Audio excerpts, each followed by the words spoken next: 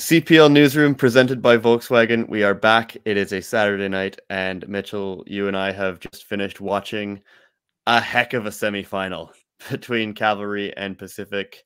Uh, 2 1 Cavalry. They are on to the final next weekend in Hamilton uh, to play Forge. But let's just, we're just here to, to give some very quick reaction to this game that's just happened and, and break it down a little bit. Um, obviously, it's a pretty pretty exceptional performance for me from Cavalry, uh, especially in that first half, which we should get into. Uh, but Mitchell, there they lost their first chance, but they they won this one to go into the final, and it's uh, it's probably deserved, right? Oh, absolutely. I think for the first 60 minutes, especially, or maybe until Kekuta Manneh uh, has a moment of magic and scores, and Pacific are, are given life. Like they were absolutely dominant and, full value for this victory on everything from set pieces to open play to defending. It was a pretty comprehensive performance from the regular season winners. But I think something you can say of every single one of these CPL playoff matches so far is we have no idea what's going to happen right in, up until that final whistle. There's always just so much late drama. And once again, you know, a huge save from Carducci uh, Aparicio, I think, would want to have that one back uh, right before the final whistle, where Pacific really pushed late. So, you know, Cavalry they they certainly made it interesting and more interesting than I think it needed to be towards the end. Uh, but you know, by the bulk of play, they were fantastic and again fully deserving of their place in the final.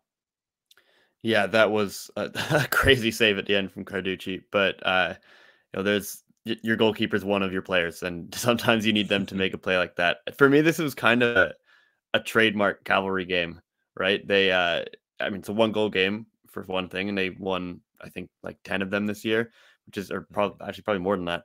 Um, they get the job done on set pieces, which you know can't say enough about the incredible work that that Leon Hapgood and and those guys do in the coaching staff and cavalry, and it's uh it's the big characters showing up in the big moments, right, Mitchell? I mean, the first one is Ali Musse to Daan Klomp. The second one is uh, Ali Musse from a from a corner with Sergio Camargo playing that little pass up top. Uh, these guys, I mean, sorry, Klomp and uh, and Musse both nominated for Player of the Year.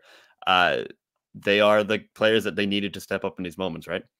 Yeah, they did. And these are the players that maybe haven't stepped up for them in the past in playoff games. I mean, I was there at Tim Hortons Field last year for that second leg where, you know, Musse and Joe Mason, who was leading the line at the time, barely touched the ball for the entire 90 minutes and had no influence over that game whatsoever. So to see, I thought Ali Musse in particular to come out and, and give the shift he did, not, not just offensively, obviously, um, setting up and scoring the goal and creating a, a, ton of other chances, but defensively as well, getting back. He had that incredible tackle on Sean Young in the second half that, you know, I really thought was a big moment in the game in terms of the intent that Cavalry were showing. So, um, to have him deliver like that, you know, Klomp obviously fantastic. Uh, takes that set piece perfectly. Carducci, the big saves, you know, the guys um, the the big players, you know, they were there, and maybe they haven't been in the past, and Cavalry haven't had those game breaking performances that you know you can say a, a Choinière for Forge have had, you know, in in past right. seasons, obviously. So that was a, a big deal for them coming into these playoffs, and and finding it in a moment like this was huge.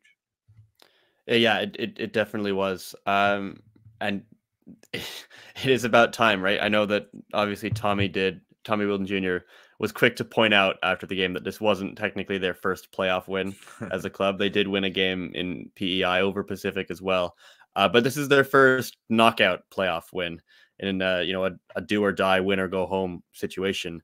Uh, it's the first time they've won one of those. First time they've won one at Spruce Meadows at home as well. Um, and it does feel we've been saying it all year. There is a bit of a different feel to this cavalry team, who obviously went on and ran away with the regular season and now are showing that maybe they can also also get that job done in the playoffs when it counts. Now they obviously go into Hamilton, which you know won't be easy, but I think they'll definitely be relishing that opportunity, right? Yeah, I mean, this was the mark against their record. They were the great CPL regular season team who, you know, every season when it came to the fall and, and the postseason, they were um, you know, they they just fell apart. So to have a performance like this, and you know, again, from for most of the 90 minutes to be in control, to be able to hold on late like that, because obviously there was an opportunity maybe for it to go the way uh, past Cavalry playoff performances have gone, but to be able to hold on like that. Um, again, that's kind of been the story of their second half of the season, and to be able to finally translate all the good things, like you said, that they've done during a regular season into the postseason and have it be a cavalry performance. This is and truly was the new cavalry that they like to um, kind of label this side as.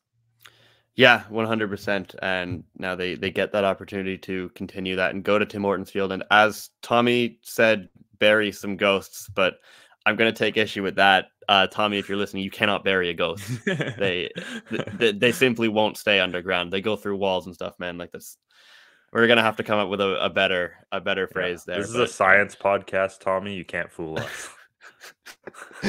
you, I, do you bury demon? are demons like physical? I don't. I, anyway, anyway, uh, Cavalry are in the final after outstanding, outstanding performance in the playoffs at home, and I think we, uh, you know, it's, it's well deserved. But let's go into Pacific a little bit because their season is now over. Uh, sadly for for all the fans out in Vancouver Island, the players and staff, um, and they do have a lot to be proud of from this playoff run. Obviously, winning that game at home against York. We've talked about the travel all the way across the country to Halifax to play that game uh, and win that one on incredibly short rest. And then, you know, as as James Merriman talked about after the game, they didn't get out of Halifax till Tuesday this week. They went straight to Calgary, trained there. So they've been players have been on the road in hotels, you know, away from families for a very long time, uh, just over a week and a half, uh, and it, or no, about a week, but uh, we're a uh, science yeah, podcast. We're not a math podcast. we're not a, we're not a math podcast. Uh, but this may have been just a, you know, that that last hurdle was a little bit too far for the Mitchell. What do you think was kind of go wrong for Pacific, especially in the first half of this game?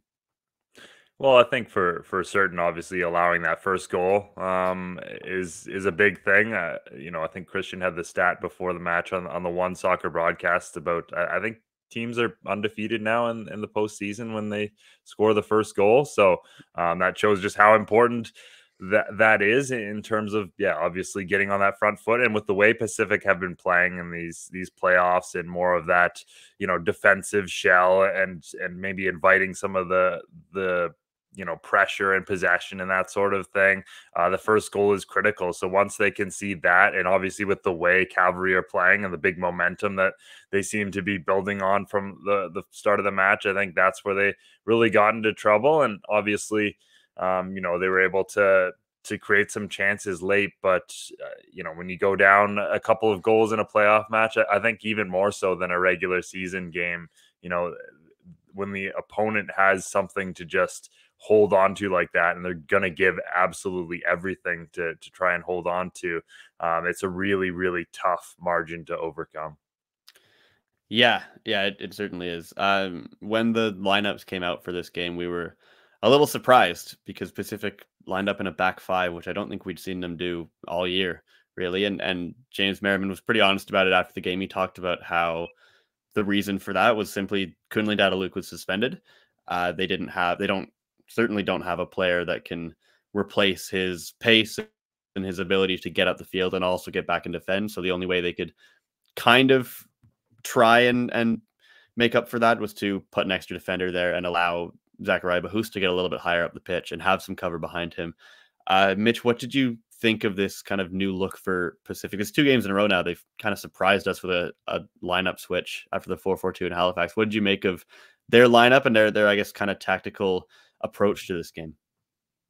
Well, I think overall, maybe it's a lesson for for James Merriman, Merriman and Pacific that you know they can play in different ways, and maybe this is something that if we'd seen them shift to a little bit earlier in the season, not necessarily the five at the back, but maybe trying some different things tactically versus the four three three that they played for most of the regular season, then you know, maybe things would have gone differently over the second half. And, you know, you saw the top sides like Cavalry and Forge evolve tactically in terms of their formations and, and different things that they did over the course of the season. So, um, while you want to keep that base identity of your side and, and, you know that's that's very important. You also do want to try and shift things, especially when you're playing sides, you know, multiple times over a season. So I think that's a lesson that uh, maybe Merriman as a young manager manager will take away from this. But you know, the back five, you're always going to be set up for for the way the match started, which is you're going to have to absorb a lot of pressure, and you know, then it came down to okay, what moments and where can we let them have you know the ball on the field? In an open play i thought they did a, a, pretty solid job. You know cavalry had a few chances but overall mm-hmm. they did a pretty good job of clogging up those key areas. But then you know as we mentioned off the top when you give away that many set pieces against a, a cavalry team like this it, it, doesn't matter you know what formation you're in um, they're going to have their their opportunity to to put a ball into the box and, and cause you some issues so that's really where things went wrong you know i thought overall it was it was okay um, it offered some good ideas going forward. Maybe, um, maybe not quite enough in the final third in terms of Ongaro maybe being stuck up there alone a, a few times and them not having numbers to to go with him. But I think that was always going to be the the case in a match like this when they're on the road. So uh, overall, I, I, thought it was a, an interesting strategy um, that maybe didn't wasn't decisive in the match, but um, again, maybe shows that this team going forward is a little more tactically flexible than um, I guess they've attempted so far this year. Yeah, I think that's a really good point actually, because they haven't necessarily changed things up that often this season, and, and when they have, it has been mostly due to significant abs- absences, as it was today. Um, you know, quickly just to, to touch on some of the other reaction they had after the game, Tommy Meilleur-Giguère spoke about how he didn't feel like they had enough energy in the first half and, and maybe weren't getting up the pitch fast enough. Um, and he, he said, you know, it's a, it's a young team. He thought the pressure might have got to them a little bit, uh, which was an interesting thing to hear him say. And, and maybe he's right. Obviously, it is a, a tough atmosphere in Calgary, uh, especially when you're, you know, in, in your box and you're, you're right in front of the fans, uh, kind of getting down on you. Um, but I, I don't know. It, it, was a young team. Maybe I don't know how to how to really assess this uh, this season for Pacific because they they were at times a young team but many of their young players were key key performers. I mean, Emil Gazdov, we've spoken about him a lot, and you wrote about him in the middle of the week. He was outstanding towards the end of the year, I think, um, and then certainly uh, a lot to be proud of for that young goalkeeper and the way he responded to some challenges this season. But now that this Pacific story for 2023 is over, Mitch, how do we how do we look at it? Because it was up and then it was down and then it was up again in the playoffs, and now uh, I guess a, a disappointment in the way it ended. But I, I don't know. Is this a is this a good season for Pacific? I I guess for them it's never a good season if they don't lift a trophy. But uh, where where are you at with this team at the moment? Kind of mad you got to ask this question and don't have to answer it to be honest because it is such a such a tough one. But I do think overall, you know, it has to be seen as a disappointment when, mm-hmm. um, you know, they were so high up in the table uh, until the very very end. Uh, you know, it could have been them hosting the final in theory if they'd held on a, a, little bit. You know, they could have even lifted the the CPL Shield and had a, a solid opportunity to to do that if they'd held on as well. So I think if when you exit this season, you know, you didn't even make a final. Um, you ended up finishing fourth in the regular season.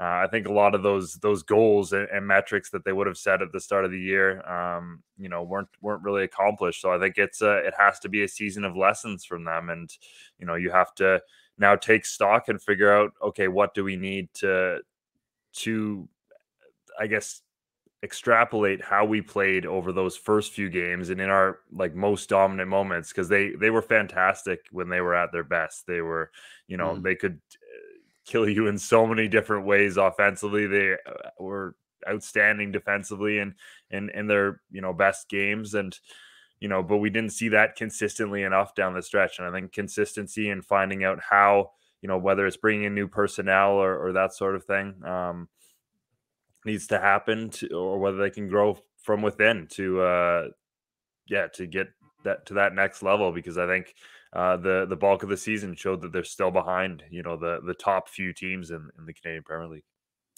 Yeah, I think that's that's probably fair. Um, you know, as we as we I guess put a bow on this game, obviously Pacific unfortunately heading home, but Cavalry uh, going to Hamilton next week. We'll get obviously way more in depth on this final in the course of the week, but Mitch, it's always these guys, isn't it? these two teams. Uh, well, they haven't met in a final since the very first year. Mm-hmm. Um, that one was uh, obviously went Forge's way on aggregate, but this time, really quickly, your your opening thoughts on these two teams going head to head for a for a trophy next weekend. Well, I think for one thing, uh, I'm so excited to see it be one match, right? Like we've seen the two-legged chess match, matches between these sides, um, and obviously the the 2019 final and, and last year's semifinal, and you know those have had their moments and been fun for from a more tactical standpoint. But this one in one game where you know everything is shortened and everything is magnified, I think that's going to make it so fascinating. And you know, considering the the quality of matches we usually see in one offs between these sides, I think that's going to be so excited. And obviously the the sixth meeting between them um, this season as well is also just going to make it for two managers who you know love to shift the pieces around the board and that sort of thing. It will be just fascinating to see what sort of tactical wrinkles the two teams come up with. And obviously, you've had Bobby, you know, having 14 days. Now he's got seven days to at least know which yeah. opponent he's going to play. But yeah, it's going to be a great final, and I absolutely can't wait because there's just so many storylines going into it, and um, there would have been either way uh, with with how this match turned out. But this really just feels like the two heavyweights over the course of this season, um, going head to head. Maybe maybe more of Forge, you know, on their past record as as a heavyweight contender, and Cavalry for what they've done lately. And um, yeah, again, they'll be going into there to try and bury something. Um, we'll, we'll, we'll figure out what they're trying to bury. Not a ghost. No, we'll we'll we'll ask Tommy about that this week. He'll be he'll be around. Um, yeah, I'm sure he won't be busy. Not he doesn't not like he has a final or anything to prepare for. Um, Forge by the, I mean these were the top two teams in the league this year, uh, and you know, by virtue of that, obviously Forge have now guaranteed themselves a spot in Concacaf as well, which will be uh, a huge, huge weight, a, a huge win for them. They obviously love that competition. Uh, and it's going to be exciting, man. These teams are very close, especially at Tim Hortons Field. I kind of have a feeling this one's going deep. Uh, we haven't seen penalties in a CPL playoff game before. Hmm. Might be the one, man. This might be the one. they met at Tim Hortons Field twice this year, drama. and they were both draws. There's a two all and then a nil nil at Tim Hortons Field this year. I can kind of see it, man. I can kind of see it. I know uh, not everybody's a huge fan of penalty shootouts. I love them, so uh, that would be electric at Tim Hortons Field. Anyway, uh, if you're around the Hamilton or the Toronto area, get your tickets. It's uh, Saturday, October 28th, 6 p.m. Eastern, 4 p.m. Mountain. If you are that way inclined and want to make a trip from Calgary, that would be that would be very cool too. Um, but if not, I'm sure you'll be uh, you'll be watching at home or in bars in in that city as well. Uh, and we will have a lot more coverage of the final in the week leading up. Um, you can check out all the all the other writing and coverage of the semifinal today at canpl.ca. Uh, and we will speak to you soon.